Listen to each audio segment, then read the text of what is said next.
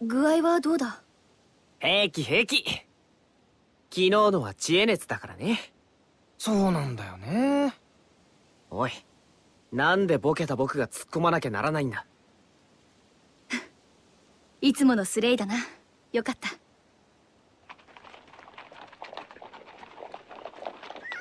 同志殿いいところに。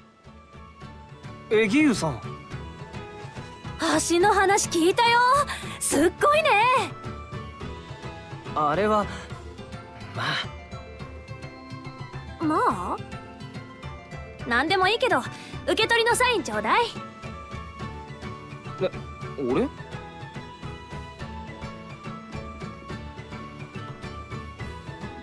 追加の薬よ。ネイフトって人から頼まれた分だ。あ不景気な顔すんなって。そうだな。あと伝言マーリンドに向かう傭兵団を見つけ町の警備を頼んだのですが断られてしまいました。レディーレイクに援軍を要請しましたが少し時間がかかりそうです。だって。傭兵団？その手が傭兵に氷馬が倒せるだろうか。ハウンドドッグ級は無理でしょうけどただの動物氷馬くらいなら凶暴だけど見えるし所詮雑魚だし。けど警備を断ったって。私が頼んでみます。誠心誠意。とにかく会ってみよう伝言伝えてくれてありがとうねえなんでこんな面倒なことしてんのなんでって困ってる人をほっとくの嫌だからふん分かったスレイが変なやつだってさて薬はどこに聖堂に頼むよ。承知した。ね途中で傭兵団を見なかった？マーリンドに向かったっていう。木立の傭兵団なら一緒だったよ。この町にいるんじゃないか？補給をするって言ってたから。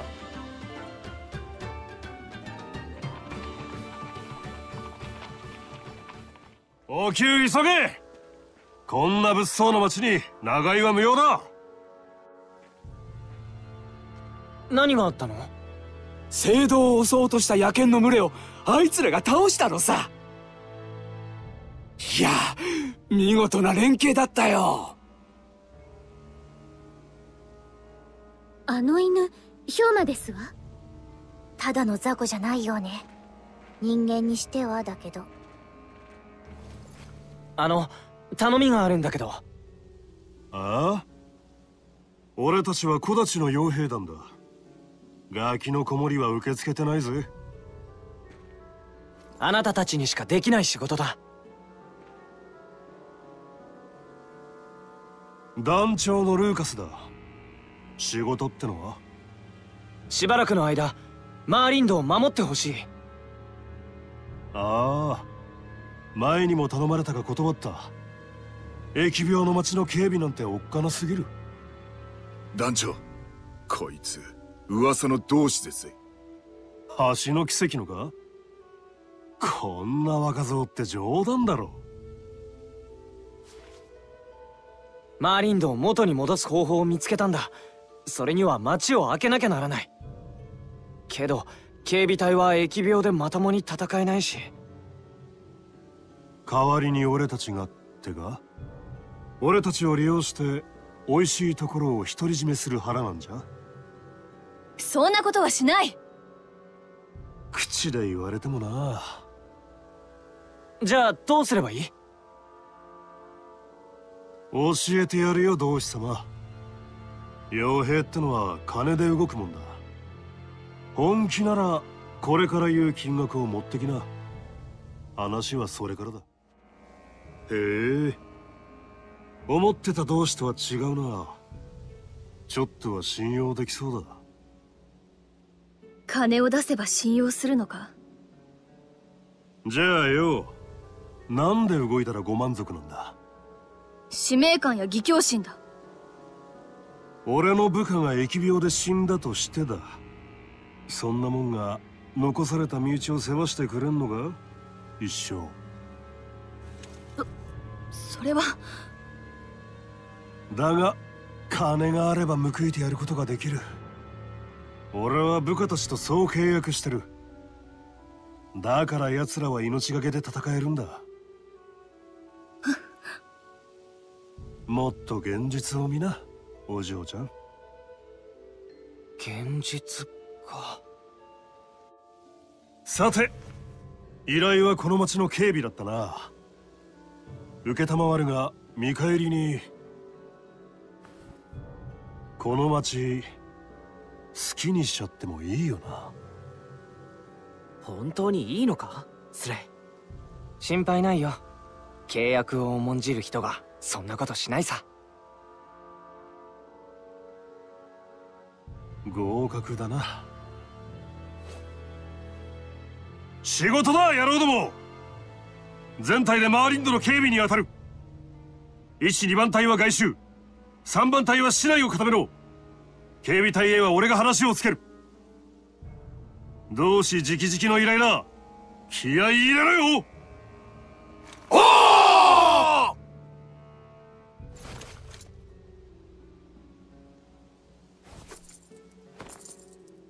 これは？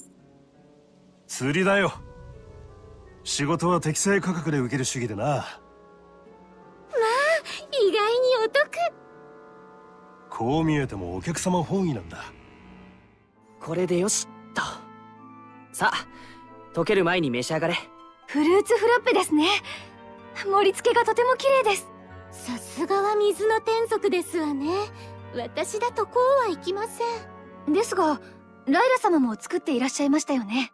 はい。焼き菓子は得意なのですが冷たいものはちょっと。なるほどライラ様は火の天族だから焼き菓子がミクリオ様は水の天族だから冷たいものが得意なのですね。天族にも得て増えてはあるんだよな。確かに僕も焼き菓子の火加減は苦手だ。そうそう。ミクリオは昔っからボアの肉を焼くときに火加減を間違えて黒焦げにしてたもんな。そんな昔のことをまだ覚えていたのか。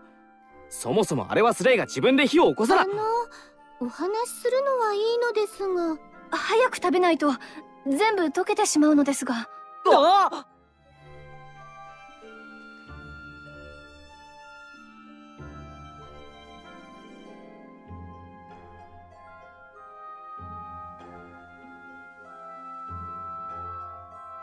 みんな！来ますわ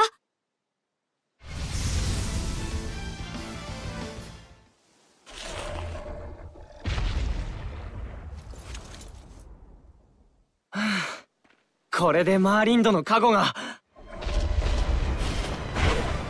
スレイ！はあアリーシャ！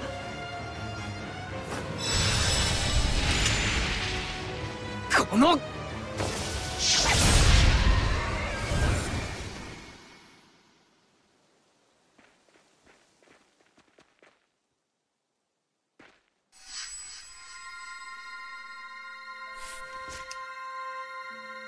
えてないんじゃない？目。やはり十字契約の反動が。いや俺がぼーっとしてたから。下手したら死んでたわ。アリーシャもミクリオも。僕はいい。アリーシャのために黙ってたんだ。スレイは。そうだと思います。ですが。限界でしょ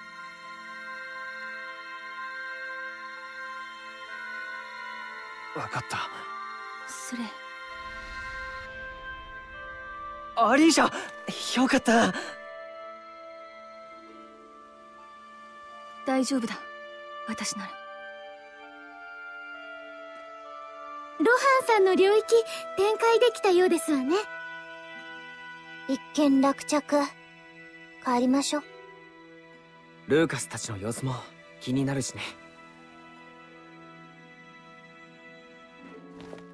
いいかすまない。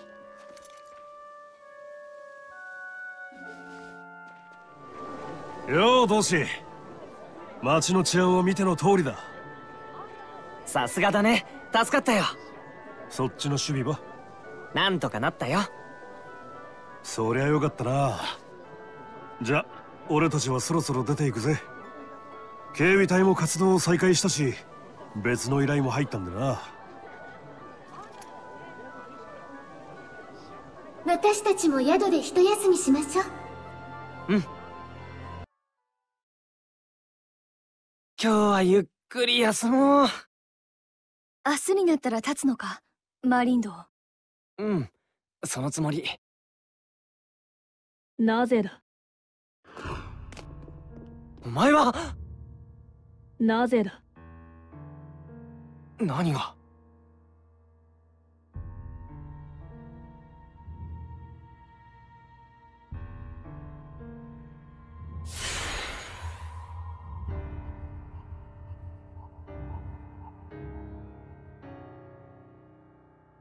族。やはりこの方について。なぜマーリンドにとどまらない？突然何なんだ？ガキは黙れ。同志に聞いてるんだ。なぜ町を救った恩と賞賛を捨てる？なぜそうまで？自分を犠牲にする。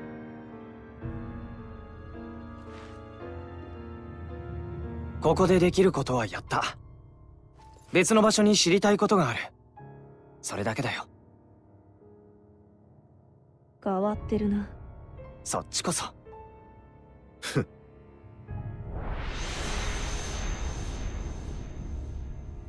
あの者たちは？わからない。けど俺以外にもいるんだな。天族と一緒の人間が。暗殺者だけどね。あんな奴のことはどうでもいいさ問題は僕たちがどうするかだ。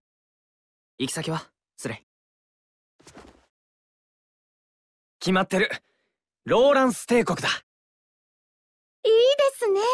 氷馬にも遺跡にも国境線はありませんし。よね。ライラはーうまくいったみたいやんか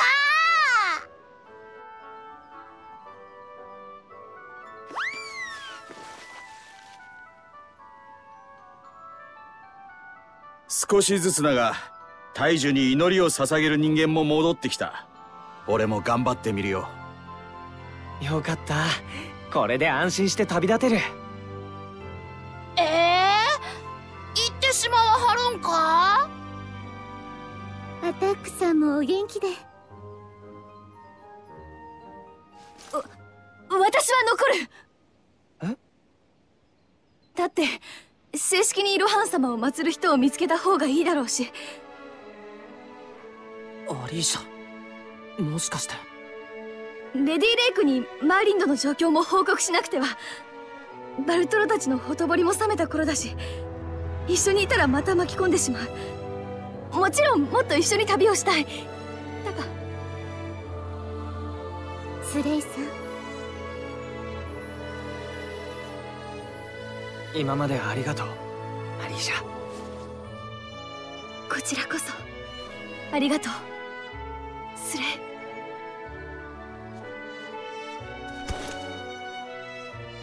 雰囲気作りすぎ。一生の別れでもあるまいし。頑張るよ。汚れのないハイランドを作るために。俺も俺の夢を追う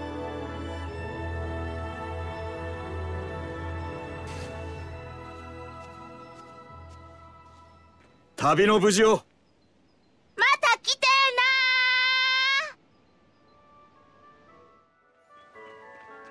で天霊緊急だ。どうした？しっかり。帝国がローランス帝国が攻めてきた。なんだって。戦争が始まるのか。マーリンドの者たちには君が知らせてくれ。自分は都に怪我してるのに無茶だよ。一刻の猶予もないんだ。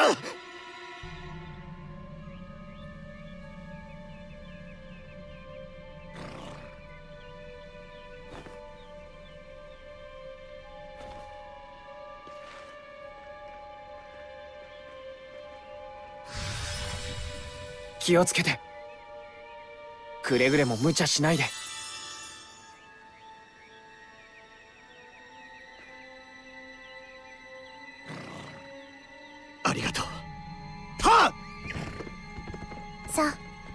なに知らせましょう。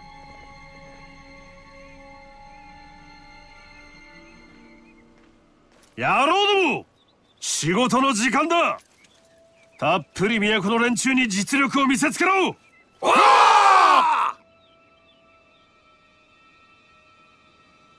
俺も行く。そうだな。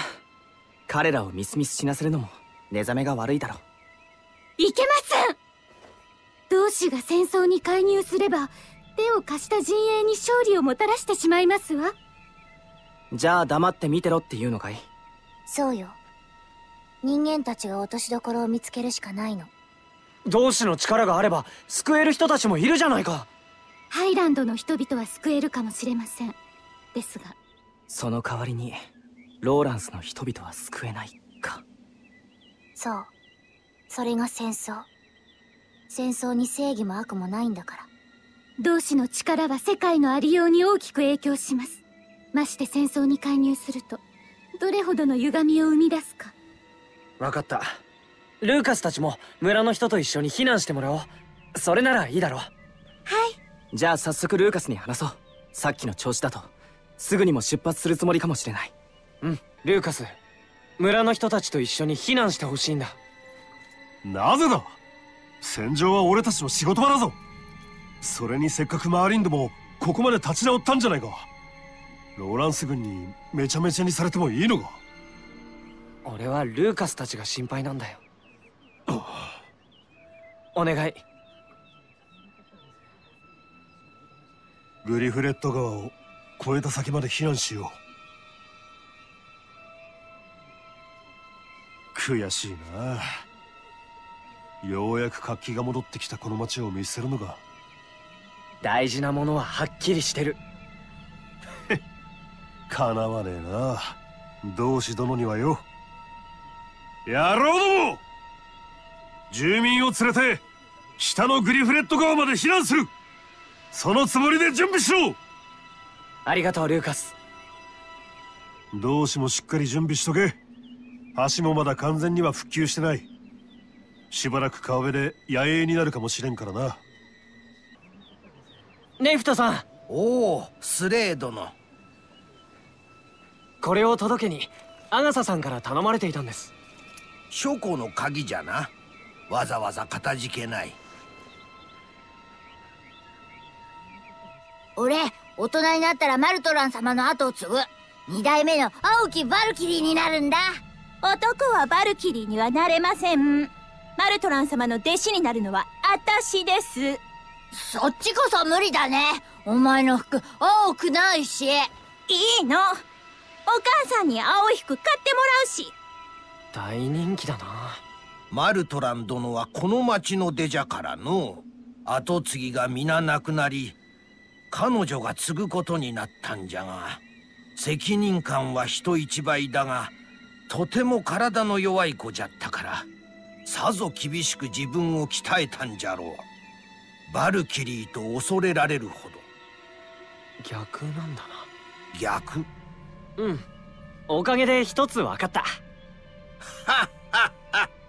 よくわからんがお役に立てて光栄じゃ。もう一個聞きたいんだけど同石っていうのを知らない？同石なら一つ持っとるよ。町の復興を願って聖堂に収めてきたところじゃ。譲ってもらえませんか？調べてることがあって。他ならぬ同志殿の頼み。どうぞ持って行ってくだされ。ありがとう。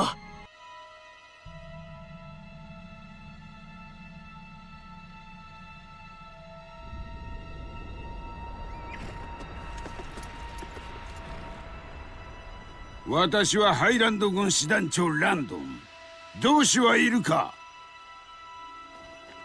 俺です。貴様が？ランドン師団長殿同志に御用でこの戦列か。貴様は小立ちの傭兵団ルーカスだな。ちょうどいい。貴様も聞け。アリーシャ殿下の件だ。アリーシャ殿下の同志を利用した国政の悪評のルフとローランス帝国進軍を手引きした疑いによりその身を拘束した。アリーシャはそんなことしてない。間違いだ。これは逮捕ではなく容疑だ。同志なんだか雲行きが怪しくなってきたわね。同志スレイが力を振るいこの戦に勝利をもたらせばその容疑も晴れるであろう。バカなスレイさん受け入れましょう。仕方ないかもね。もしこのままアリーシャが命を落としたら。はい。スレイさんは自らを責めてしまうでしょう。そうなるといくらスレイでも汚れと結びついてしまうかもしれない。そう言いたいんだね。汚れた同士は戦争なんかとは比べ物にならないほど世界を悪い方向へと誘うわ。ほらさっと言ってさっと終わらせよう。きっとなんとかなる。僕たちがついてる。俺が戦えばアリーシャを解放するんだな。勝利をもたらせばだ。俺たちも行くぜ。やっぱ戦いもせずに逃げることはできねえよ。俺たちには数々の戦いで得た誇りがあるんだ。よかろう指揮官は私だ。それを忘れるなよ。では同志戦場で待っているぞ。なーに俺たちがいれば同志の出番なんかないって。スレイさん顔を上げてください。さっき言ったよな。僕たちがついてる。バカ正直に戦争に付き合うことはないわ。面倒だし。適当に終わらせましょうみんなありがとう。聞いてた。ひどすぎ。戦争なんてほっといたら？あいつらあんたを利用するだけ利用してアリーシャ殿下も殺しちまうかもしれんぜ。やっぱり行くよ。けど。アリーシャ殿下のことは俺たちみんなが濡れ衣だって分かってる。これからレディーレイクに行って直談判してみるさ。うん評議会もさすがにこれだけの民の声を黙殺はできんじゃろうて。だから安心して言っといで。必ず帰ってきてね。うん。待っておりますぞ。ありがとうみんな。行ってくるよ。まったく。なんでこんなことに。今回の相手は人間。しかも戦争。それが問題ね。はい。退けるためとはいえ人を傷つけなければならない。それはスレイさんの心の痛みとなって汚れを生む原因になるかもしれません。そんなそれじゃ同志が汚れないよって針の穴を通すようなものってことじゃないか。それが人と関わるということ。そしてそれが同志の道なのですわ。アリーシャのことパーッと忘れちゃえば簡単なのにね。できるわけない。分かってるだからあの子は同志なんてやってるんでしょ？ええ。覚悟を決めなきゃってことだな。僕も。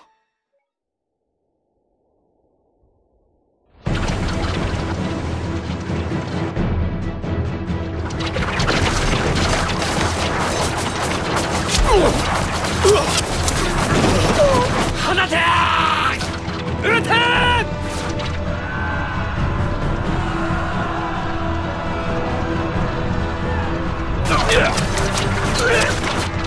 進め我がローランスの力を見せつけてやるのだローランスに遅れを取るな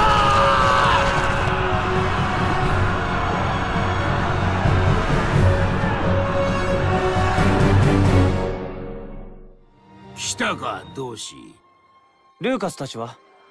右翼先方奇襲部隊だ待たれよ同志。貴様には中央に展開した。指揮に従え同志。ここは私の戦場だ。俺のやるべきことは変わらない。ここが誰の戦場でもだ。ガキ一人がどれほどのものか。大臣の目も曇ったものだ。我らも出るぞ。あっちの崖上ならきっとルーカスたちも見つけやすい。その分敵にも気づかれやすいルートね。伝令！傭兵団の奇襲からの攻撃は失敗。本体に合流する。急げ！なんだって！ルーカスたちを見捨てるつもりなのか？彼らの犠牲を糧にすればより多くの兵が命を落とす。彼らはまだ戦ってるじゃないか。これは戦争なんだ。行くぞスレイ彼は兵士としての役目を果たしているだけだ。責められないよくそ。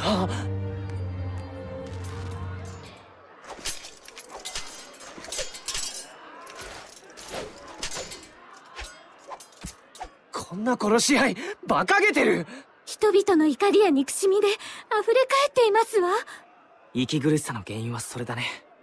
戦場はまさに汚れのるつぼだ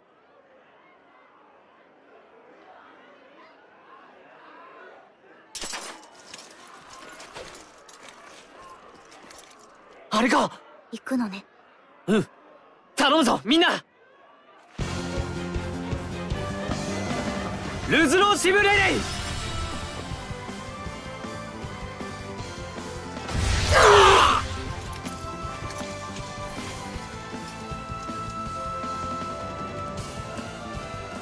大丈夫。手加減してるよ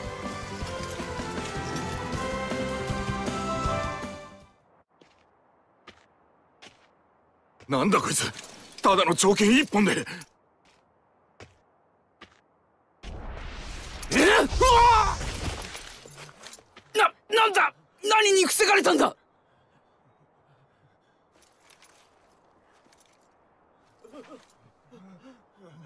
ば、化け物何が起きてやがる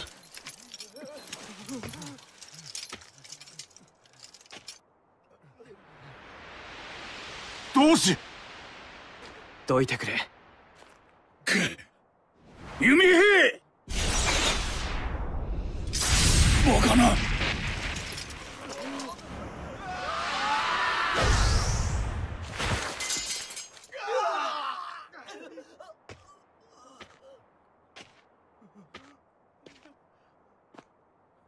これが同志の力なのか。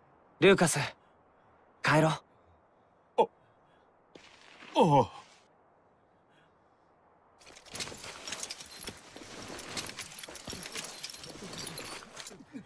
引けローランス兵。なんだ声が頭の中に。何者だ貴様。次はない。引け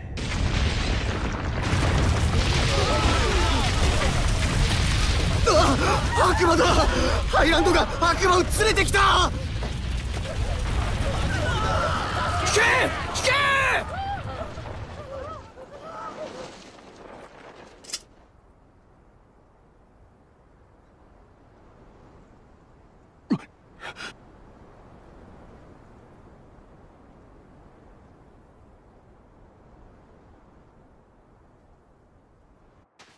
本当に無事でよかった。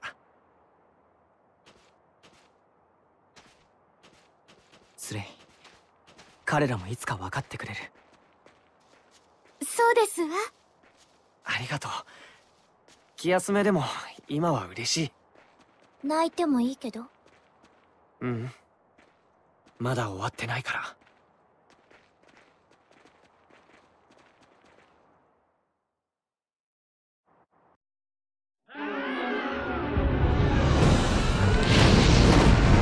放て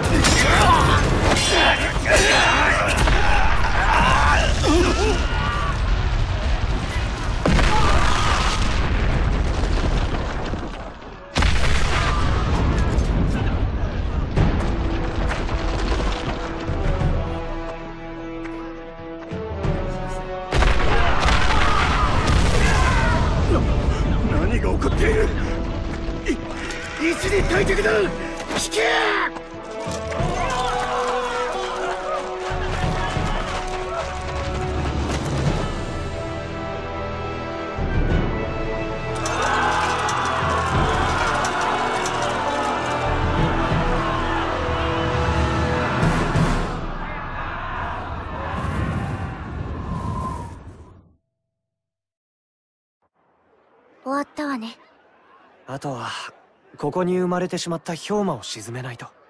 スレイさん。ま今回はとことん付き合ってあげるよ。ありがとうミクリオ。相当しろ。一人も逃がすな。師団長さんもう勝敗は決してる。どうしか。何を甘いことを。ここで徹底的に打ちのめせば以後も優位に立てるであろうが。そんなことのためにスレイさんこの人に何を言っても無駄ですわ。同志貴様の働きのおかげでこれほど圧倒できるのだ。もっと誇られよ。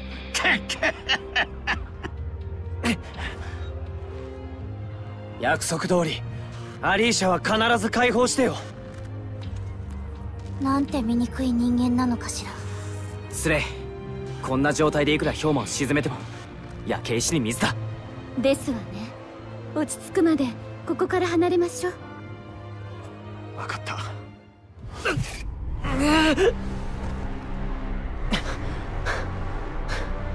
この領域今まで感じたどれよりも？冗談じゃない。これほどの汚れまさか！何なの？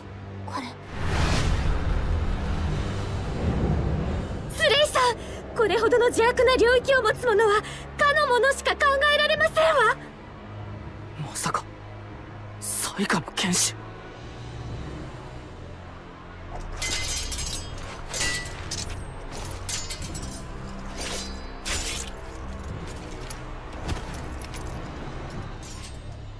あの人たち正気を失ってしまったようだわ。止めなきゃ。スレイいけません。今の私たちが叶う相手では。分かってる。ヤバくなったら逃げるよ。みんなの命も預かってるんだ。しょうがない子ね。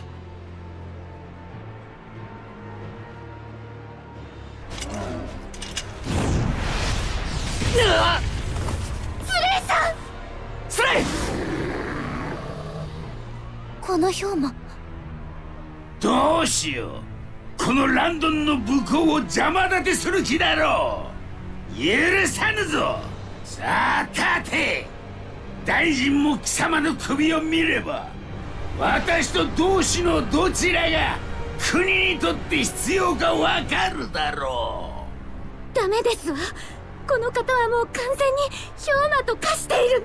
やるしかなさそうね。今の状態でこいつと戦うのか。みんな踏ん張ってくれ汚れが消えない？ダメですわ。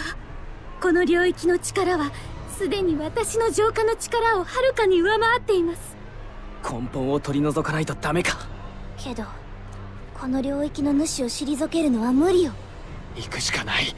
無茶ですわ。ライラお願いだ！俺たちがやらないとこの戦いは止まらないあの丘の上が汚れの中心のようです。ごめん。詫びなんて不要だ。僕たちは死なないからね。クリオそうだよな！行くのなら早く行きましょう。はい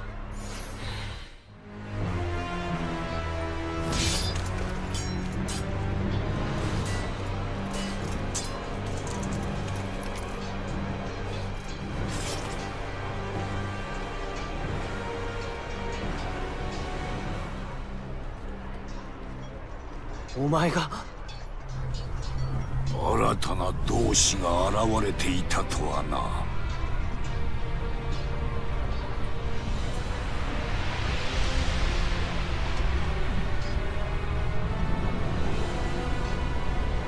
恐ろしいか。何？死の予感甘美であろうが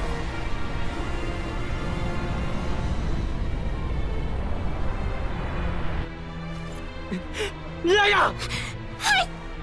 フォエスメイマースイ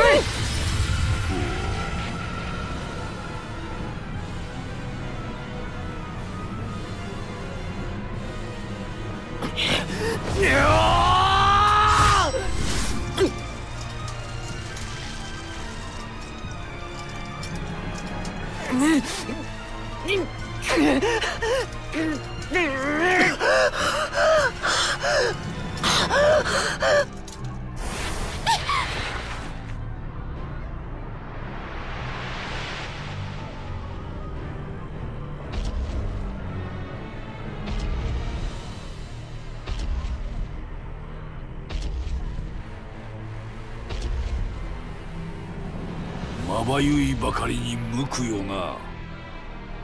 お前は誰よりも良い色に染まりそうだ。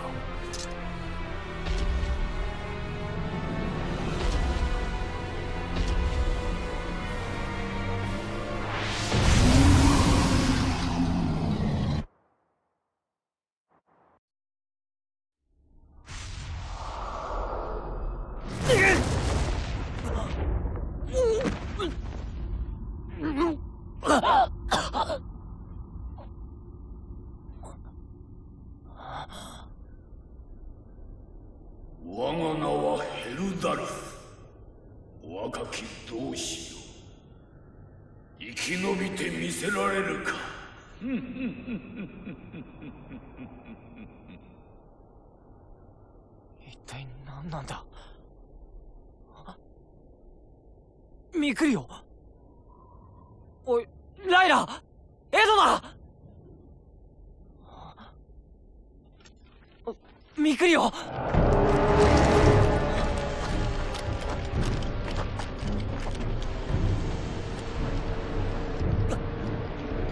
いつらいつの間に。フォ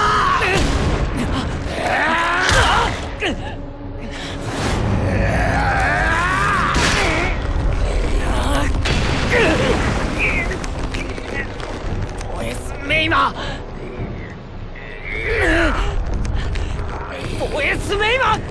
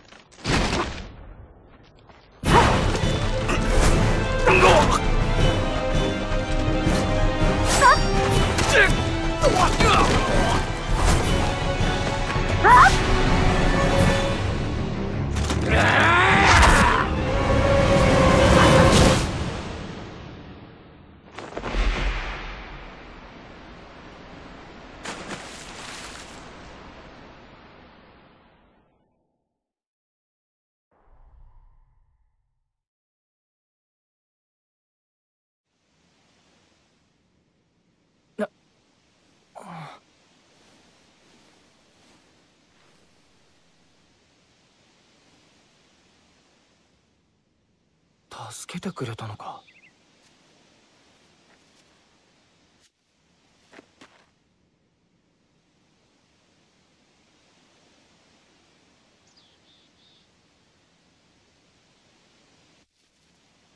ミクリオ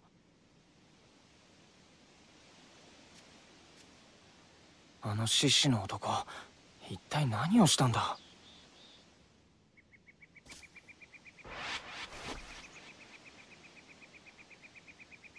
追ってか。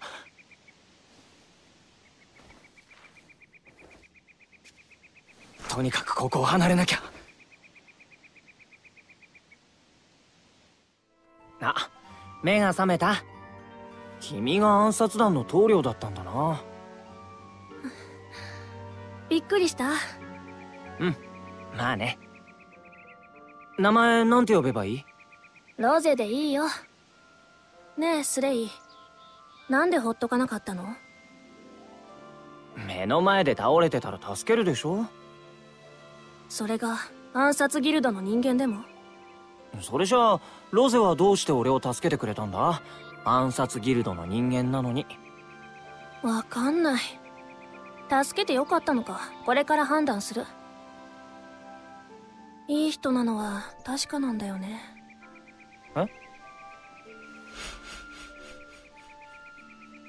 スレイ誰かが見てる。あ。ねえ北に向かって。そこに私たちが隠れ家にしてる。遺跡があるんだ。でも追っ手にバレちゃってもいいの？大丈夫大丈夫。っていうかもう下ろすよ。このまま行こう。その方が油断させられるし。ちえ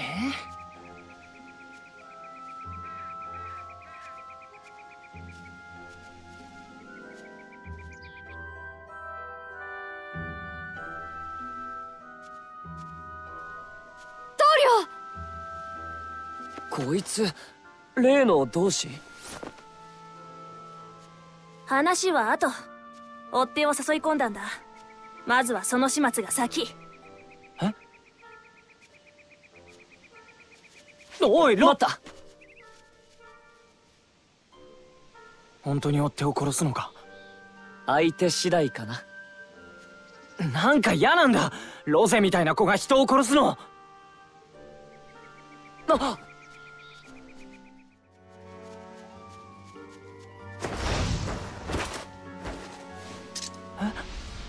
君たちが。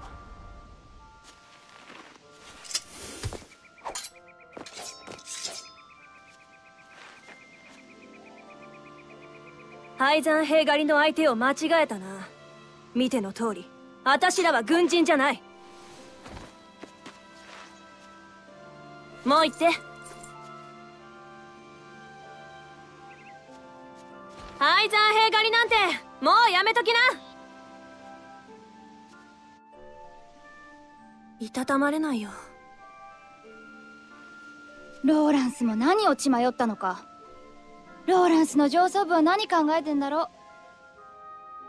ハイランドは姫が抑えていたというのにローランスが突然開戦か。さすがに予想できん。おかげであんな子供まで雇うまがいの真似をしなきゃいけない。けどまあたくましく生きてる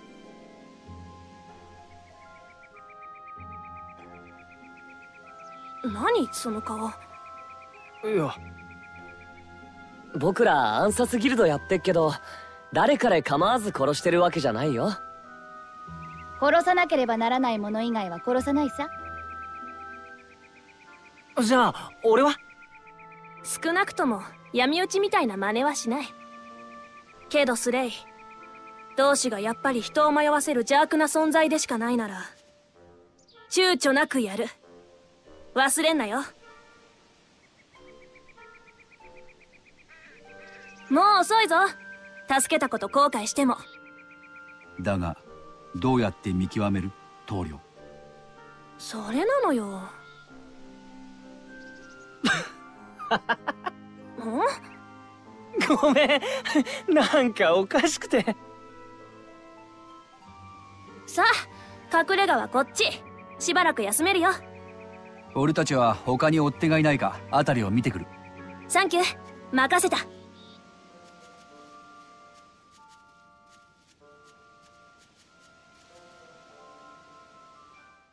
そっちのは今話題の同志か？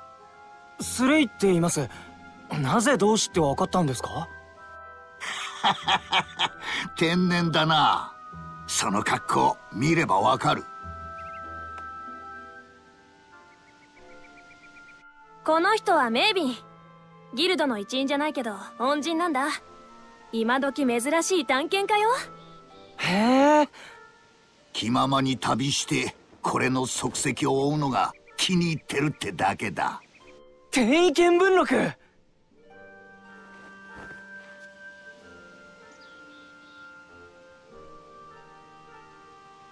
お嬢戦争が始まったと聞いて気になってたんだが問題なさそうか？うーん。このアジトはもう捨てる。依頼もしばらく様子を見た方が良さそう。もしかして俺のせい？同志が暗殺ギルドの心配か？変わったやつだな。そうなのよ。さて俺はもう行くとするか？え？もう？あんまりのんびりしてるなよお嬢同志の出現戦争勃発。これから時代が大きく動くぞ。うん。分かってる。スレイせっかくここに来たんだ。奥にある遺跡の謎を解明してみせな。えどういうこと？ここは転移見聞録に載ってない。他にもいくつかそんな遺跡や伝承があるそんなに発見が困難なわけじゃないのにだ。なんか裏があると思わねえか？自分の目で確かめた時にこそ伝承の本当の意味が見える。上出来だ。スレイまた会おうぜ。お嬢もな。うんまた。じゃあねおじさん。さ中に入って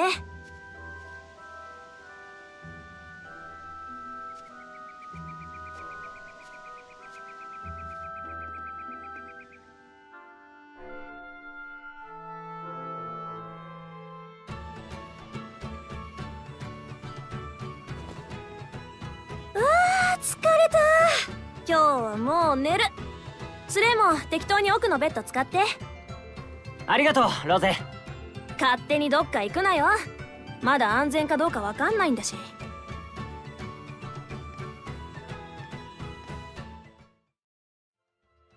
まったくスレイのやつもうちょっと警戒するもんだろ。仲間外れが寂しいのね。声が届かないのって本当にもどかしいですわね。みんなスレイ元に戻ったのか？本当よ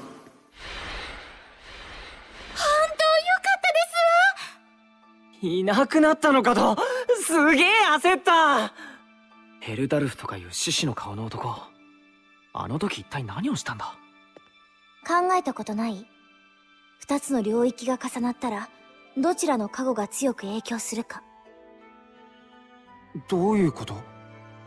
スレイさんの同志としての領域がかの者のそれに打ち負けたのです。そのせいでスレイの霊能力が一時的に麻痺したってわけか。しょうがないわ。ドラゴンよりも強く汚れた領域を持っているんだもの。ヘルダルフあいつが最下の剣士なのか？まず間違いないでしょう。あれほどの汚れをまとう者は他にないと思いますわ。じゃああいつがあれほどの汚れと力を持ったのは何か理由があるってわけか。当然だろうな。あんなのが自然に生まれてたまるか。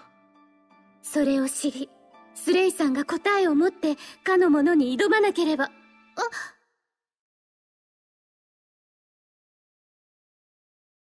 スレイさん？何ブツブツ言ってるの？あああ。ここに仲間がいるんだ。は？天族なんだけど。そそういうの笑えないよ。ライラ彼女ならあれで声が聞こえるんじゃない？そうですわね。やってみましょ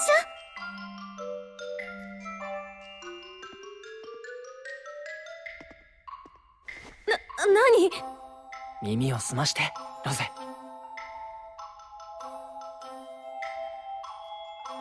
ロゼさん聞こえ。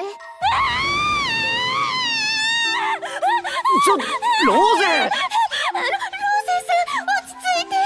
聞こえない。バカローゼ聞いて。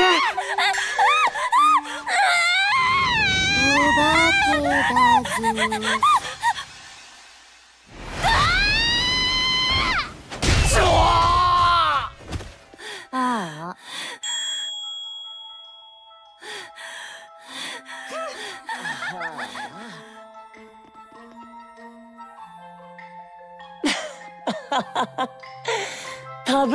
れちゃったね。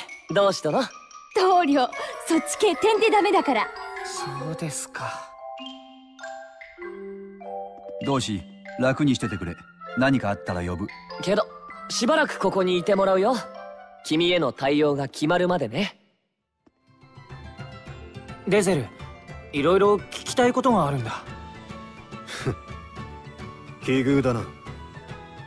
俺も聞きたいことがある天族の力をまとって戦う。あの力は何だ？カムイのことか？カムイ。そうか。あれが俺もあの力を得られるのか。カムイは同志と天族が一体となって行使するものです。お互いが力を合わせるんだ。手に入れるって類のものじゃないよ。面倒な力だ強い。全く意図がつかめない。何なんだ？品定めさ。俺の目的に繋がってるかどうかのな。